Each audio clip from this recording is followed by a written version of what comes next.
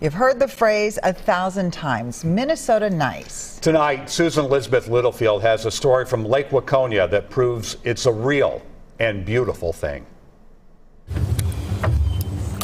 Life Okay, hold us in there, Andrew. can take you for a ride. All right, here we go. Oh, there you go. Sometimes you catch a good day. Oh, maybe. Is it a bass? Sometimes Will, you want to hold it? Yeah. A good day turns bad. I'll always remember it, August 20th, 2020. So, one month after my daughter was born. To understand how bad this day was, you have to know how good life was. In 2006, on her last week of college, Lindsay met Joe. And what was it, do you think, that drew you to her?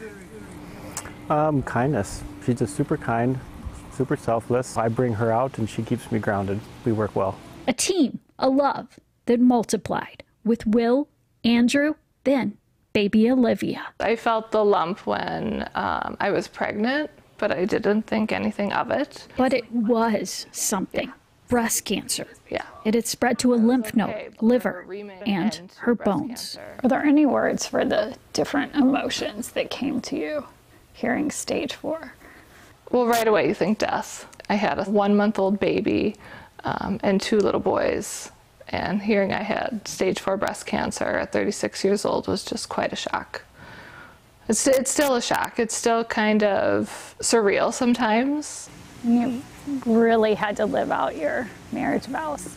Yep. Sickness and health, and I, I think about it a lot differently, and I've thought about it a lot lately. Never thought of it as testing my vows. It was never Lindsay was sick, we were sick.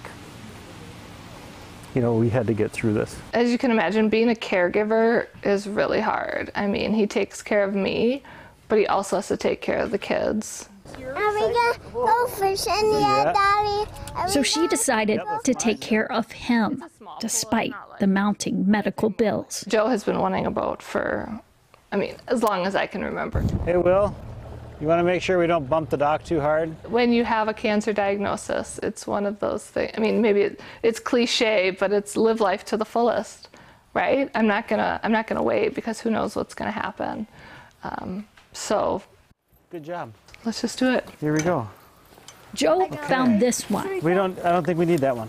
We're on good. Facebook Marketplace, listed for $27,000, over their budget, but still, he thought it was worth a call to the owner. He talked, I talked, we asked questions, and I thought, I want to sell it to this guy. I don't even know why. You but it was felt just, that? yeah, I just thought, I want this guy to buy the boat. So we're going to go menu, menu. Joe was supposed to go look set at it up. in person, You just kept telling Mama we need a boat. but suddenly Yeah. canceled. I text Christine. I'm like, I can't make it. My kid broke his arm. And then she's like, Okay, I understand. He sent her this photo. Christine showed it to her wife. Valerie came into the office. I was sitting there talking with Joe when we first found out, and we both started crying. And she called me back. She goes, Does your wife have cancer? I said, Yeah. When he told me she had stage four cancer, I thought, we lost our, our best friend to that. Their beloved friend was also a devoted mother to three. Julie was, she was another gift, you know. She made everything happen. So you saw Julie in that family, in that photo.